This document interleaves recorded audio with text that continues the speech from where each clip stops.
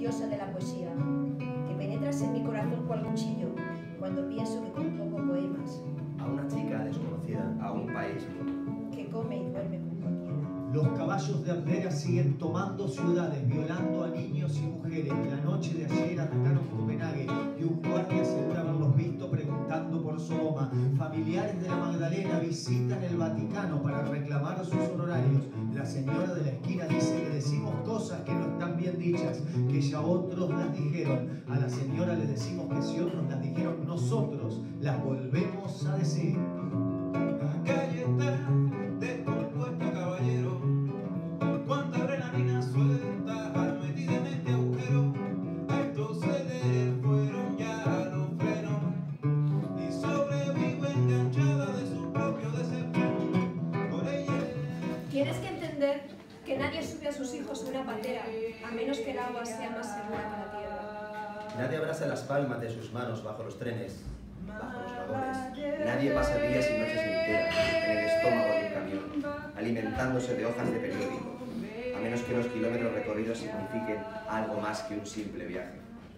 Nadie se abraza. País verde y herido, con marquita de veras, patria pobre.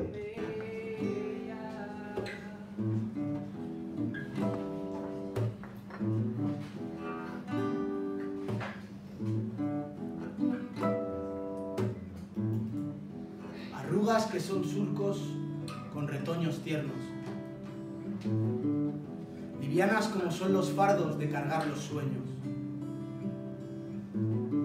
Que tengan ruedas de molino se les ven todos los huesos. Que saben que sus años tienen más de cuatro inviernos.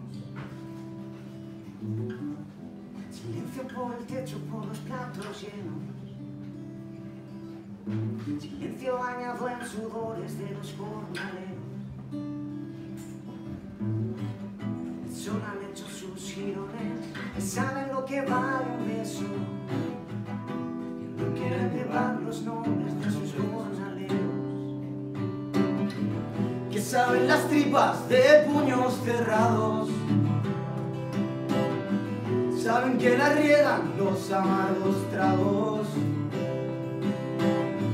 Saben todo y más de tenerse en pie de la soledad.